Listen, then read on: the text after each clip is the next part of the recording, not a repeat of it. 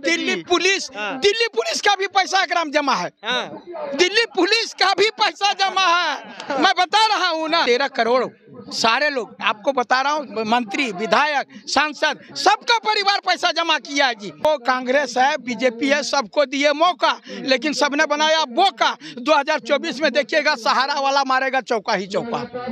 मोदी जी से उम्मीद है? उम्मीद उनसे नहीं है का वो अपना बाप घर से देंगे क्या? अरे भैया मोदी की गारंटी है सहारा के मतदा मतदाताओं के लिए नहीं है। मोदी की गारंटी क्या सहारा के मतदाता जो है वो वोटर नहीं है? मोदी जी को वोट नहीं देते हैं। मध्य प्रदेश में और अभी तीन राज्यों में दिए थे।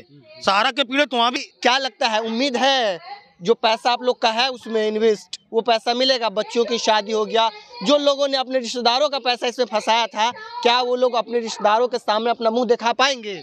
भारत की सरकारों को देश के करोड़ों निवेशकों की बातों को सुनना पड़ेगा। राष्ट्र धर्म का सबसे बड़ा निर्माता किसी को मानता हूँ तो वह है नौजवान और जो आज हाथों में पत्रकारिता जगत को लेकर के समाज में हो रही बुराइयों को प्रत्यक्ष रूप से दिखाने का, का साहस कर रहा नमस्कार मैं हूँ सैफ आप देख रहे हैं न्यूज़ फॉर सिटीजन अभी हम देश की राजधानी दिल्ली में है और दिल्ली में जंतर मंतर पर खड़े हैं और देश के अलग अलग कोने से तमाम लोग आए हुए हैं जो इन्वेस्टर्स हैं जिन्होंने सहारा जैसे संस्थानों में अपना पैसा जमा किया है। इन तमाम चीज़ों को लेकर के जंतर मंतर पढ़ाए हुए हैं और लगातार आंदोलन कर रहे हैं। आंदोलन इसलिए कर रहे हैं कि अमित शाह जी ने कहा था कि 45 दिनों के अंदर में तमाम लोगों के खाते पर पैसा जाने शुरू हो जाएँगे। क्या अभी तक 45 दिन नहीं आए हैं? 2024 का इलेक्शन नज़दीक है। ऐसे में तमाम पार्टियाँ लोगों को अपनी तरफ़ आकर्षित करेगी। लेकिन जिन लोगों ने इन्वेस्ट किया सहारा जैसी संस्थाओं में क्या उनका पैसा आएगा या नहीं आएगा इन तमाम चीज़ों पर हम लोगों से बात करेंगे। आप झारखंड से आए हुए हैं। जी मैं क्या कुछ कहना चाहेंगे? लगता है पेमेंट मिलेगा आप लोगों का। पेमेंट तो लेके रहेंगे। पेमेंट तो लेके रहेंगे। मैंने दिया है। हम लोगों ने कोई चोरी करके पैसा नहीं जमा किया।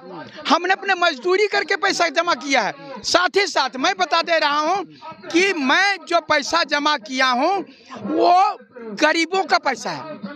अपने बच्चों का पेट काटा हूँ। मैं अपने सुख शांति को भंग करके इसको पैसा जमा किया लेकिन अगर यदि ये लोग, मैं बता रहा हूँ, हिंदू, मुस्लिम, सिख, ईसाई, यहाँ पर जाति की बात ना करे सरकार।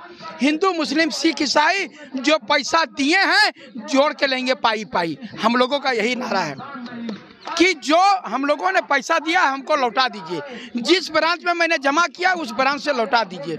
यहाँ पर जंतर मंतर में जो है, पूरे देश के, मैं बता रहा हूँ, न पूरब से, न पश्चिम से, न उत्तर से, न दक्षिण से, न सिर्फ़ वह ईसाई, न सिर्फ़ ही वह कहें कि न हिंदू, न मुसलमान, बल्कि सारा हिंदुस्तान आकर के यहाँ पर मांगने के लिए आया है कि मेरा पैसा माननीय प्रधानमंत्री जी, मेरा पैसा किसने खाया है? मैं बता रहा हूँ ना कि ये हरिद्वार में जाकर के बोले थे, माननीय गृह मंत्री महोदय जो अमित शाह जी ने, कि नौ महीना में इन लोगों का पैसा रिटर्न कर दिया जाएगा। नौ महीना में बच्चा पैदा हो जाता, लेकिन मेरा पैसा नहीं आया।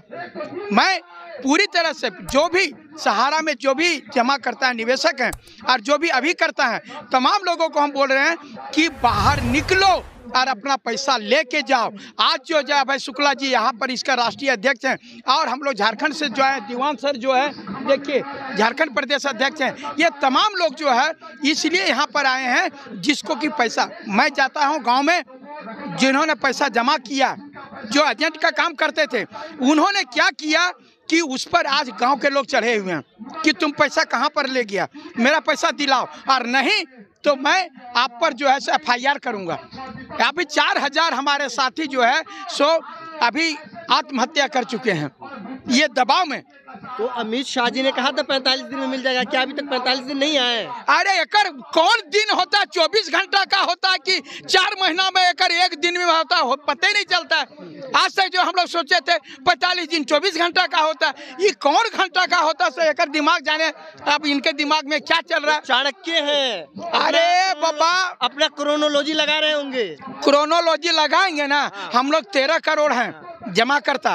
अगर यदि चार चार की बात करेंगे तो हम लोग बावन करोड़ यहाँ पर बाल बच्चा के साथ आएँगे। देना पड़ेगा। नहीं तो छाती पर चढ़ के लेंगे तो लेंगे पैसा जमा दिल्ली पुलिस मारेगी नहीं आप लोगों को? अरे दिल्ली पुलिस हाँ। दिल्ली पुलिस का भी पैसा ग्राम जमा है। हाँ। दिल्ली पुलिस का भी पैसा जमा है। मैं बता रहा हूँ ना दिल्ली पुलिस का है मारेगा? उनका परिवार नहीं जमा किया है क्या? उनके परिवार से जा करके पूछिए वो जमा करके नहीं है। पूरे भारत का जितना भी है जो भी यहाँ पर रहने वाले लोग जितने एक अरब पैंतीस करोड़ जनता जो है उनका कहीं न कहीं ये तेरह करोड़ सारे लोग आपको बता रहा हूँ मंत्री विधायक सांसद सबका परिवार पैसा जमा किया है जी। और पूरा पुलिस का ये प्रशासन का ये सबका पैसा वो लोग भी वो सो, सोच रहे हैं कि बहुत बढ़िया अच्छा किया कि मनोज यादव और शुक्ला जी निकले हैं हमरो पैसा आ जाएगा। वो हमको लाठी नहीं मारेंगे। यादव जी लगता है 2024 का इलेक्शन नज़दीक है। 2024 में जो है हम बोल रहे हैं ना कि सबको ये लोग को कांग्रेस है बीजेपी है सबको दिए मौका लेकिन सबने बनाया बोका 2024 में देखिएगा सहारा वाला मारेगा चौका ही चौका। जो जिसने पैसा दिलवा दिया। जे बस दिलाएँगे तो दिलाएँगे। मोदी जी से उम्मीद है? उम्मीद उनसे नहीं है हम- का वो अपना बाप घर से देंगे क्या? अरे भैया मेरा पैसा पैसा मांग रहा हूँ। पैसा तो इधर सुनिए मैं बता रहा हूँ माननीय प्रधानमंत्री जी प्रधानमंत्री देश के मुखिया हैं। उनको समझ में नहीं आ रहा कि हमारी जनता जो है बोलते हैं गरीब गरीबों का एक ही जाति होता है कोई हिंदू मुस्लिम कोई जाति नहीं होता सिर्फ़ गरीब एक जाति है। तो का कौन एकरा में का अमित शाह जमा किए हैं? क्या मोदी जी जमा किए हैं? हम लोग गरीब लोग पैसा जमा किए हैं। हमारा गरीबी का हक को नहीं मारना चाहिए। हम लोगों को पैसा दे दो भाई। सीधा सपाटा हम लोग गरीब आदमी हैं। हम जिसने दिए थे उसने दे दीजिए। नहीं तो अभी हम भीतरे भेज देंगे। क्या लगता है? सरकार से उम्मीद है सर इस सरकार से? सरकार कहाँ सुन रही है? सरकार है ही कहाँ? मोदी की गारंटी है सहारा के मतदा मतदाताओं के लिए नहीं है। मोदी की गारंटी क्या सहारा के मतदाता जो है वो वोटर नहीं है? मोदी जी को वोट नहीं देते हैं। मध्य प्रदेश में और भी तीन राज्यों में दिए थे। सहारा के पीड़ित वहाँ भी हैं। लेकिन आज मोदी आँखों की पट्टी बांधकर जो है बैठे हैं, लेकिन सहारा के आम नव- निवेशक की परेशानी को नहीं देख पा रहे। आज पीड़ा इतनी गहरी है कि चार हज़ार एजेंट हमारे जो है आत्मदाह कर लेते हैं, डिप्रेशन में खत्म हो जाते हैं, पेट्रोल डाल लेते हैं, ट्रेन की पटरी पर खत्म हो जाते हैं। आज लाखों बेटियाँ केवल इसलिए बैठी हैं कि शादियाँ नहीं हो पा रही।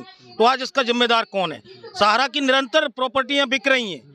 आज लगातार सहारा प्रबंधन जो है प्रॉपर्टियाँ बेच रहा है लेकिन वो पैसा सहारा के आम गरीब जनता को नहीं मिल पा रहा। तो इसके लिए तो दोषी मोदी जी हैं देश में शासन मोदी जी का है और मोदी जी से ही मांग करेंगे। तो चाणक्य जी ने तो बोला है कि 45 दिन में पैसा आ जाता ही।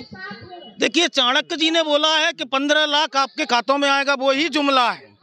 अमित शाह अगर अपनी बात पर कायम है और मर्द की ज़ुबान है तो अपनी बात पर कायम रहें और हमारा उद्देश्य दस हज़ार की खैरात और भीख नहीं है।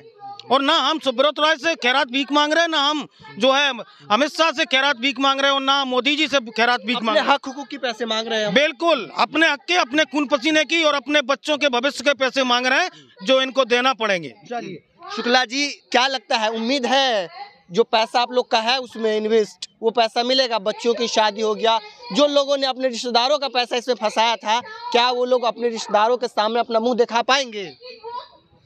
देखिए, भारत की सरकारों को, देश के करोड़ों निवेशकों की बातों को सुनना पड़ेगा। अगर जंतर मंतर पे हम सभी साथी अपनी पूरी तैयारी के साथ भारत की सरकार तक अपनी बात पहुँचाने में सफल रहे तो मुझे आशा और विश्वास है कि देश की सरकारों को गंभीर होना पड़ेगा और आपके पैसे का भुगतान कराना होगा। आप सच नहीं बोल सकते। जो सरकारों के खिलाफ सच बोलेगा या तो उसकी कलम तोड़ दी जाएगी या तो उसको आ, अपने अखबारी जगत या और, और जो सिस्टम सच है जो सच है वो डिजिटल मीडिया ही दिखाती है कहीं ना कहीं। और डिजिटल मीडिया को इस तरह की प्रताड़ना की जाती है तो कहीं ना कहीं दिक्कत है ये। देखिए हम तो मानते हैं कि हर हाथों में एक पत्रकार है। हर इंसान एक पत्रकार है और उसमें हमारे कुछ ऐसे नौजवान साथी आप जैसे लोग क्रांतिवीर साथी हैं इस उम्र में जब आपको अपने परिवार के और अपने जीवन के सामाजिक उद्देश्यों को और आर्थिक उद्देश्यों को बढ़ाना चाहिए। आप देश के बारे में सोच रहे हैं आप समाज के बारे में सोच रहे हैं आप समाज की कुरीतियाँ समाप्त हो इसके बारे में आपने एक बीड़ा उठा लिया। अगर मैं राष्ट्र धर्म का सबसे बड़ा निर्माता किसी को मानता हूँ तो वह है नौजवान और जो आज हाथों में पत्रकारिता जगत को लेकर के समाज में हो रही बुराइयों को प्रत्यक्ष रूप से दिखाने का, का साहस कर रहा मुझे लगता है बहुत कलेजे वाला है। कलेजा वो नहीं कि हम हाथों में हथियार उठा के सेना के बॉर्डर पे जाके लड़ लें वो ही कलेजा नहीं है। कलेजा ये है कि हाथों में माइक लेके किसी को सच के साथ खड़े होकर बोलने को विवश कर दे और उसके तमाम झूठों को बेनकाब कर दे। ऐसे भी लोग किसी बड़े पराक्रमी से कम नहीं होते बड़े योद्धा से कम नहीं होते।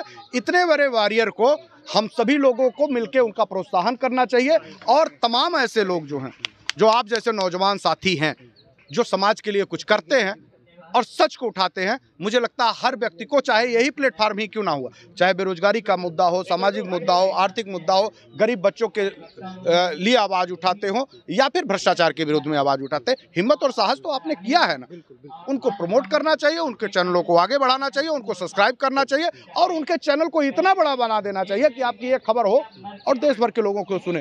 ऐसे तो लूट ले रहे हैं तमाम बड़े चैनल वाले लोग। हाँ बड़े चैनल्स वाले लूट के करोड़ों अरबों के मालिक बने हैं। अरे भाई, छोटा छोटा सा इस यूट्यूबरों को भी बढ़ाइए। इनकी आय बढ़ाइए, ताकि ये हमसे आंदोलन के दौरान कुछ ना कहें कि भैया हमारी मदद कर दीजिए। इतना इनकी रीचे हो कि इससे इनका काम चल जाए, इनके पास ज़रूरी संसाधन आ जाए। ये हर यूट्यूबरों को चाहिए। मैं तो कहता हूँ भाई आप मज़बूत रहेंगे तो हमसे नहीं मांगेंगे हम तो वैसे ही मांग करके ही आंदोलन कर रहे हैं। तो हम सभी साथियों से निवेदन भी करेंगे कि भाई आप लोग भी इनकी मदद करिए और इनके यूट्यूब चैनल को भी आगे बढ़ाइए। तो बहुत बहुत शुक्रिया। तो अभी हम देश की राजधानी दिल्ली में थे और देखिए दिल्ली के तमाम लोगों ने इस बात को जो दिल्ली की ज़मीन पर आकर के अपनी बात को रख रहे हैं कि जो लोग इन्वेस्ट किए हैं सहारा जैसे संस्थानों में तो सरकार वादा करती है कि हम पैसे देंगे। आखिर कब तक इनका पैसा मिलेगा? इसे तमाम खबरों के बने रहे माँ जानकी आपको